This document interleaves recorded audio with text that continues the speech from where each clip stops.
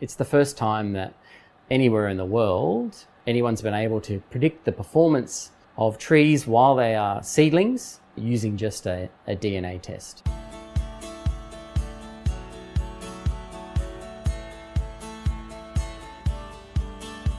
Hello and welcome to the latest edition of Wood Chat, a new series of podcasts produced by Forest and Wood Products Australia. I'm Sam. And I'm Victoria, and today we're continuing on our mission to highlight some of the important and fascinating work that's happening in the forestry industry right here in Australia by talking to the very people behind the initiatives. We'll be talking to Robert Southerton, Managing Director at Gondwana Genomics, who's going to tell us about an exciting world first breakthrough.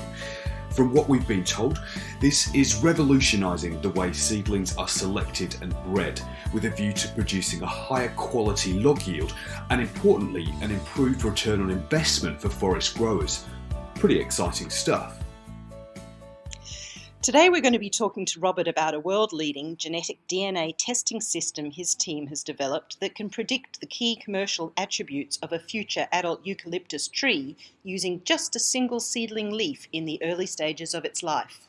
Supported by research funding from Forest and Wood Products Australia and other key industry figures, this breakthrough could enable foresters to dramatically reduce breeding cycles and significantly speed up improvements to log quality.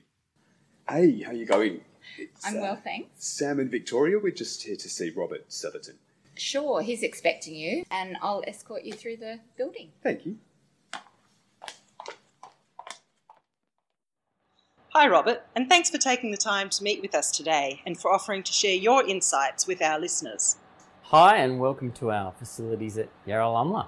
So, for anybody who doesn't know, could you just tell us a bit more about Gondwana Genomics and uh, what you guys do? Sure thing. So, Gondwana Genomics was formed in 2014. Um, we set up to commercialise research that the CSIRO had been doing into performance of eucalyptus trees. Basically, in a, in a nutshell, what we do is we take leaf samples from our customers, uh, we process the samples here, and we help them with their tree breeding programs. So the aim of that is to maximize the confidence in their, their breeding programs and make them uh, as efficient and productive as possible. So, in terms of these latest findings, I guess it makes sense to start at the beginning and ask what prompted Gondwana Genomics to undertake this research.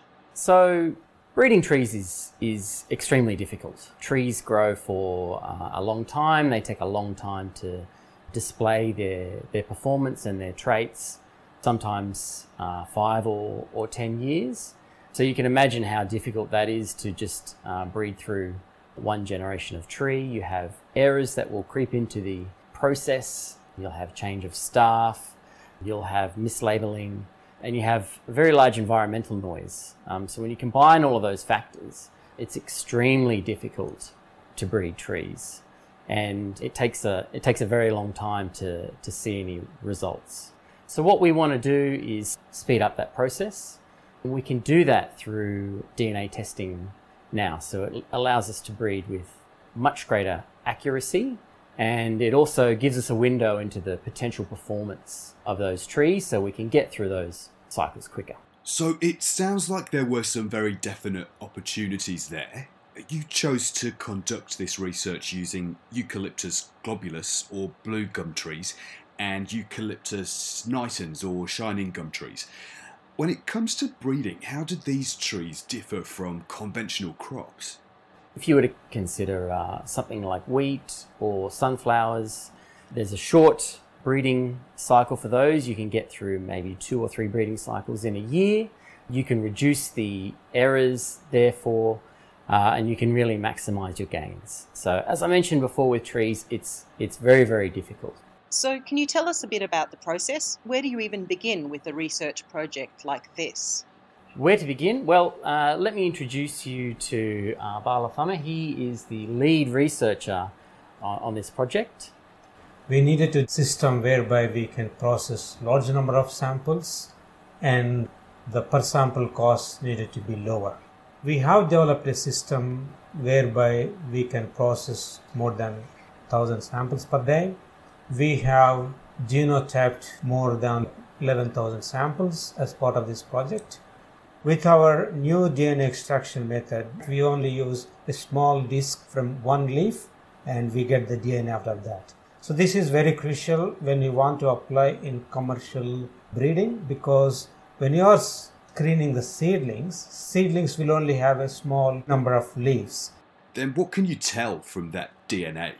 We can determine several things. In traditional breeding programs, there could be errors creeping into the identification of those parents during the course of breeding.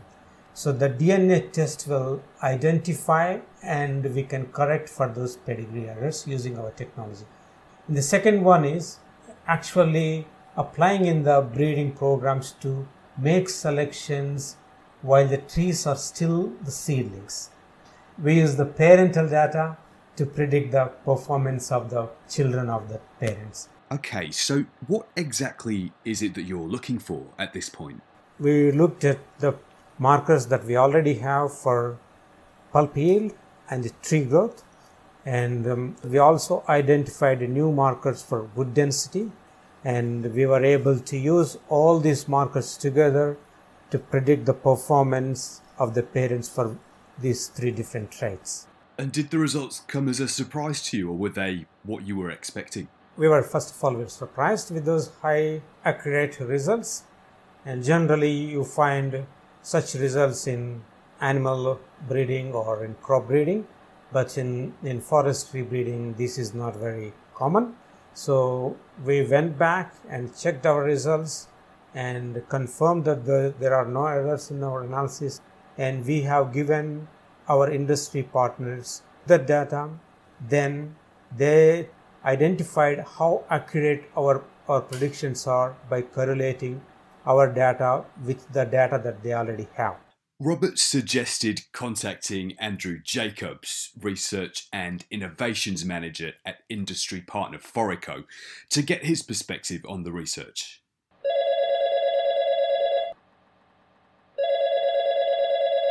Hi Sam, how are you today? Oh, I'm not bad, thank you. Um, I was given your details by uh, by Robert, and uh, he had mentioned that you might be able to tell us a bit more about your involvement with the uh, Gondwana Genomics project. Yeah, well, it's been a pretty big project for us. Obviously, um, there have been a number of other industry partners involved, but um, our involvement really has been to screen seven and a half thousand plants within our eucalyptus nitens program. Pretty big commitment um, on our behalf in terms of numbers. What kind of time period would we be looking at? Like, how long did that take you guys? Well, it required us to obviously sample plants from a range of different sources. We sampled uh, 5,000 plants from our nursery, so seedlings. Um, so that was fairly straightforward. They're all very close together. But as part of this project, we did also assess the DNA from plants in our seed orchards, in our arboretum, which are mature trees and spread out. So that was quite time consuming. Plants from from one of our commercial plantings, uh, which again also required a fair bit of time, another day's work to, to collect those samples. There's a little bit of a backstory too, Sam, in that part of this project obviously was developing the technology, and that required that we had traits related to wood quality that we already knew about in trees so that you could train the markers to be associated with that. So we had around 1,500 trees where we went and measured wood quality, and that was many days to, you know, really to make sure that the, the markers that we've used in this program really do pick up the, the wood quality traits that we're interested in. So it's a big commitment then, and what inspired Forico to, to actually get involved? The largest proportion of our plantation is eucalyptus nitens, and we have an internal breeding program, and we've got some really what we think very good genetics in there, and we're really interested to maintain, I guess, what we would think of as a leading advantage by uh, utilising this technology to help us identify elite individuals within that population. The, the process that you, we went, sort of went through was initially you need to train the markers, so that kind of alluded to those 1,500 plants where we had wood quality traits already already measured, And then we look to see which markers associated with um, plants which have sort of high values for those traits. What you can do is go on and screen blind in populations and look for a similar pattern of markers with the hope that the markers can provide insight into the wood quality of those unknown plants, therefore um, helping you identify, hopefully, the elite individuals. We've taken plants from that screening process now into our seed orchards as part of our breeding program. But, but we won't know for many years because we're looking at wood quality traits, those markers stack up. And so throughout all of that, was there anything that stood out or surprised you? I guess one of the things which became apparent was that the markers appear to be quite accurate in their associations uh, compared to other methodologies. So the marker accuracy was encouraging. But as, as I say to this point, we haven't been able to validate those associations.